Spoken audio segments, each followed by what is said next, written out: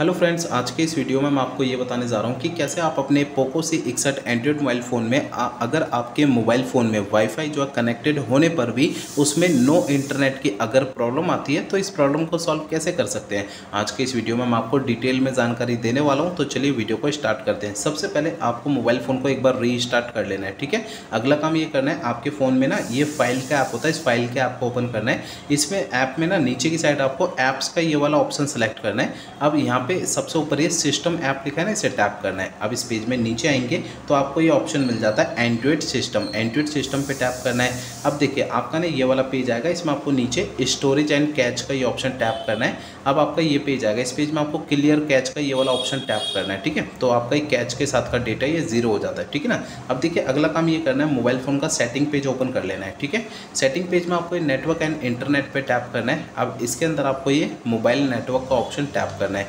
अब यहाँ पे आपको अपने फ़ोन की सिम सेलेक्ट करनी है। अब इसके अगले पेज में सबसे नीचे आना है आपको, ठीक है? सबसे नीचे ए का ये ऑप्शन सेलेक्ट करना है। अब यहाँ पे सबसे ऊपर थ्री डॉट पे टैप करना है। ये पेज आएगा, इसमें रीसेट टू डिफ़ॉल्ट पे टैप करना है। तो आपको नीचे लिखा हुआ आ जाएगा इस तरीके से रीसेट डिफ़ॉल्ट एपीएन सेटिंग इस तरीके से एपीएन सेटिंग को भी एक बार रीसेट कर देना है, ठीक है? तो दोस्तों, इस वीडियो में मेरे बताए हुए सारे तरीकों से आपकी प्रॉब्लम ना सॉल्व हो जाएगी। अगर मेरे बताए हुए तरीकों से आपकी प्रॉब्लम सॉल्व नहीं होती तो आपको करना क्या है? देखिए दोस्तों, आपने जिस कंपनी का वाईफाई कनेक्शन आपने ले रखा है ना, उस कंपनी के सर्विस प्रोवाइडर को या फिर उसके कस्टमर केयर पर आपको कॉन्टैक्ट कर लेना है। ये एक लास्ट ऑप्शन बचता है, नहीं तो मेरे बताए हुए तरीकों से आपकी प्रॉब्लम सॉल्व हो जाएगी, ठीक है ना?